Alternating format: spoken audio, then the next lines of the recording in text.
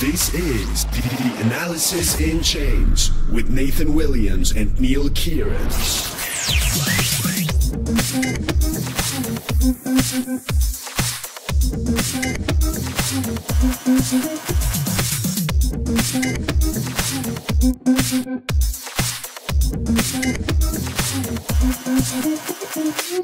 Welcome to Analysis in Chains. I'm Nathan Williams. Neal, welcome back. Thanks, Nathan. Thanks, Nathan. I'm still alive. Uh, I may not sound like it, but I'm back. I'm happy to be back and uh, talking about crypto prices. Faith and Bigora, it sounds like you had a St. Patrick's Day bash last night. Is that uh, is that the case? Um, I'm getting older, so I can't celebrate like I used to. Um, but I did, I did uh, drown the shamrock to a certain extent last night. It's uh, it's my duty, you know, wherever I am in the world. Well, it, I, I'm glad that you were able to enjoy the enjoy the evening. Uh, hopefully, uh, you wore a little green. And uh, today we'll talk about, uh, I guess, what's going on in the alt green market. Uh, where, uh, what's going on there with all of the altcoins being hyped? Yeah, we're we're back in altcoin season. It's been a while since that happened. And usually in altcoin season, it's that everything except for Bitcoin usually uh, performs better than Bitcoin. And if we were to look at dominance um, in terms of uh, crypto valuations, we're seeing that Bitcoin is drifting towards 50% dominance, whereas uh, at the height of the bear market, it was much stronger because Bitcoin uh, is almost like uh, when things are going bad, people fly to quality. They end up buying Bitcoin as a haven against other crypto assets. But now that risk is coming back and people feel a bit more confident, they're now exchanging their Bitcoin for other cryptos and other cryptos are shooting up 20%, 30% in a day. So there's that sense of, hey, it's the summer of 2017 again. You know, time to like put your retirement savings back in crypto. But I don't think it'll ever get back there. We can all, yeah. we can all hope. yeah, yeah. but it does have that Lambos. Yeah, it does have that feeling to it. But there's still this caution. Like people are still saying, "Yeah, things are improving." Less people are talking about Bitcoin and other crypto going to zero, but people are saying, "Hey, you know, we're we're probably uh, approaching the bottom of this." And even Tom Lee is back Tom Lee is back on CNBC talking about how. Yeah, he went off the radar when Bitcoin didn't hit 20k at, at the end of last year. but uh, he he uh, he expressed something that I expressed uh, one time in this podcast is that generally when the US dollar weakens, Bitcoin and other crypto do well, and it, a lot of that has to do with emerging markets. So I would say that uh, and this is what's been predicted. Now, it may not come to pass, but there is a lot of expectation that the US dollar will weaken from uh, for the second half of this year. So, a lot of people are gearing up for that in terms of jumping back in on the crypto uh, bandwagon.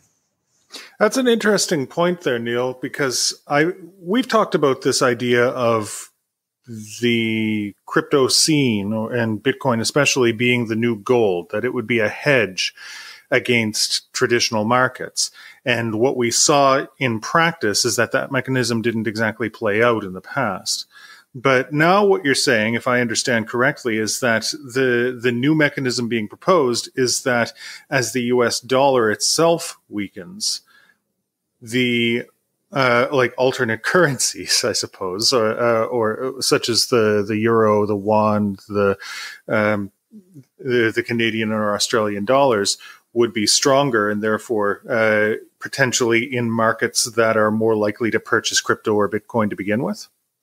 Yeah, it's like any basket of goods is that it actually gets cheaper what, because the US dollar is weakening and therefore it gets to a price that's probably more appetizing for investors. The other thing is when I talk about US dollar weakening, I'm not talking that's going to plummet like a lot of people in the crypto world believe in. It's it's just a natural cycle. And in the last two bull runs, it started off with the US dollar weakening. Now, if you look back in those last two bull runs, the dollar, US dollar has still been relatively strong compared to all world currencies. But during that period where it was weakening, where we saw other emerging market currencies strengthen, that's where we saw some pickup in crypto. So, you know, the, in a way, it's, you could say it's, it's a bit like trying to read the tea leaves and say, oh, this always happens. There's always a full moon whenever there's like a, a crypto rally. But on the same time, you know, he, there is some merit to it because of the fact that when a, you know a global currency like US dollar weakens, you know people want to hedge and they hmm. buy alternative assets as a result. The Shamrock leaves, Neal. Reading the Shamrock yes. we are at St. Patrick's Day after all. So when we're when we're talking about altcoins, I mean, which ones have been performing the the most strongly? Because personally, I haven't seen a lot go into the like the the real token market, for example. Um, probably more along the lines of the, the the actual coins, like the the ones that have their own blockchain associated. I wouldn't say that there's any strict relationship between those who have been mooning and those who haven't. I would say that I would say that a lot of people just saw opportunity in a lot of altcoins that were still quite low and had low volume.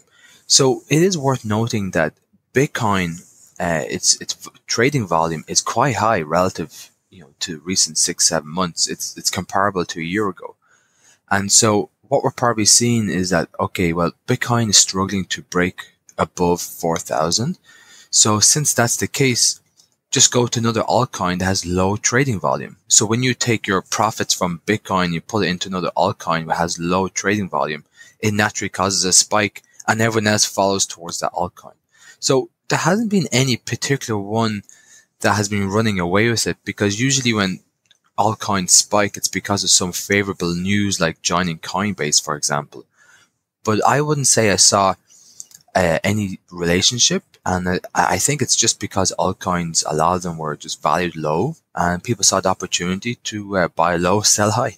I wonder if this, uh, it, it, I almost wonder if this is a traditional pump and dump scheme. That if we were to start cruising on the Discord uh, channels and the Telegram channels, if we would find some sort of coordinated effort to go into certain, uh, certain low volume coins. Because, um, yeah. I, I mean, it's well, as you thing- say, right? Like, uh, like if you have low volume, it's going to be much more sensitive to uh, price spikes. Well, like if I would look at Wax, that's one that I follow closely myself. Um, it it was trading around about three and a half cent, quite low from the two dollar highs I had over a year ago, and it, it went up approximately say hundred percent over the, over a period of two weeks. Now I wouldn't see that as a as a pump and dump. However, one comparable blockchain to Wax is Enjin Coin. I say comparable because they're trying to target the same market and do the same things, and it went up I think maybe a thousand percent, and a lot of that is to do with the fact that it's already on the new Samsung blockchain wallet, and so obviously that spiked way higher because of extremely favorable news. So favorable news does still play a big part, hmm. but wax, I think just went up because it was already so low and it was kind of due to go up with the rest of the market. So it really was taking off, um, like, you know, much better than other crypto. But again, I was, I didn't really see a relationship between it and say, I think it's crypto.com It really shot off, uh, really took off as well during that period. So I, I, I would say there were, there were probably some pump and dumps if you went to like the top, like, uh, uh sorry, crypto between 200 and 300, maybe there's some pump and dumps. But when you're in the top 100, it's kind of hard to do a pump and dump because trade volumes are already, you know, not bad. Hmm. Now, it'd be interesting to see how this plays out uh, going into the late spring, uh, well, the early spring uh, of this year, because we have so many people who lost money. So many people in 2018 who were just waiting for the crypto return that I could imagine this spreading into, yeah, the top 300, the top 600 uh, coins where where people with uh, low trading volume uh, and and who've been hodling ever since uh, ever since the bottom fell out of the market are eager to get back in to see what sort of price stability or wonkiness comes out of this. Yeah, like I'm I'm quite confident. I don't want to say bullish, but it does make sense that we should see the bottom during this year and start to see price appreciation. Because as bad as this bear market was for price valuations, and we kept saying this, there, there has been a lot of investment in this scene.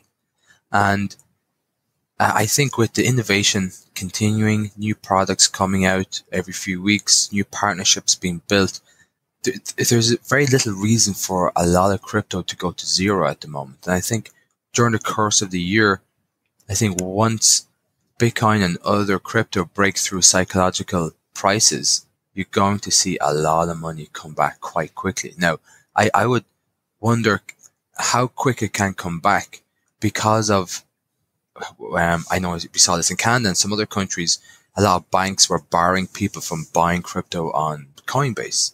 So that was, that made it much easier to purchase during the whole crypto bubble in 2017.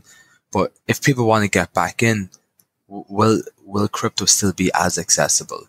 That's what I wonder, you know, if things do take off. This brings to mind an important thing that I've been reading about and learning about. Have you heard of the consumer toy, consumer token offering, the CTO?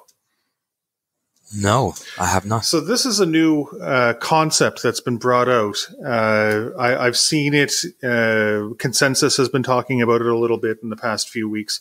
Um, essentially, the concept is very similar to the ICO, where you would have an initial coin offering that individuals can play into, but it would remove the speculation aspect from the coin. So the idea is sort of untying the different roles of the coin um, and part of the reason that this has become a, a, a, big question mark as to whether this is the future uh, is because there's been so much speculation as to which direction crypto is going to go. If everyone goes into a security token, you may end up limiting access to accredited investors only. And the whole appeal of it was that the average person can get involved.